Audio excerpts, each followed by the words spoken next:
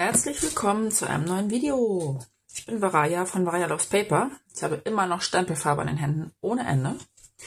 Und ich möchte hier heute mit euch ratzifatzi meine ganzen wunderschönen die Cuts, die ich hier so bekommen habe oder auch gekauft habe oder auch selbst gemacht habe, möchte ich dieses ähm, Sprüche-Junk Journal einfügen.